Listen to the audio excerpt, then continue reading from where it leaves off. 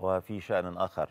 شهد الفريق محمد فريد رئيس أركان حرب القوات المسلحة إحدى مراحل المشروع التكتيكي بجنود والذي تنفذه إحدى وحدات الجيش الثالث الميداني وذلك في إطار الخطة السنوية للتدريب القتالي لتشكيلات ووحدات القوات المسلحة.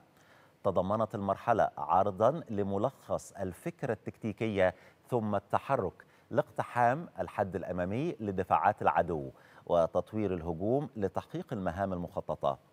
أظهر المشروع المستوى الراقي الذي وصلت إليه العناصر المشاركة من مهارات ميدانية وقتالية عالية واستخدام أحدث نظم التحكم والتوجيه لمختلف الأسلحة والمعدات.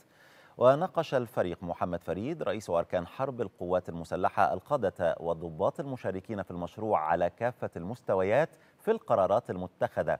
كما استمع لعدد من الأسئلة والاستفسارات والتي أجاب عليها مخططو ومنفذو المشروع.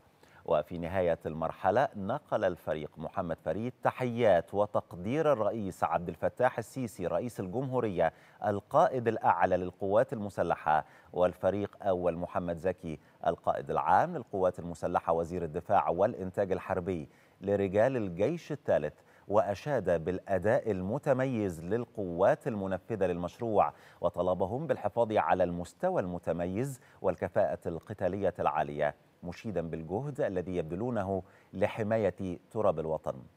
حضر المرحلة عدد من قادة قوات المسلحة وعدد من دارس الكليات والمعاهد العسكرية.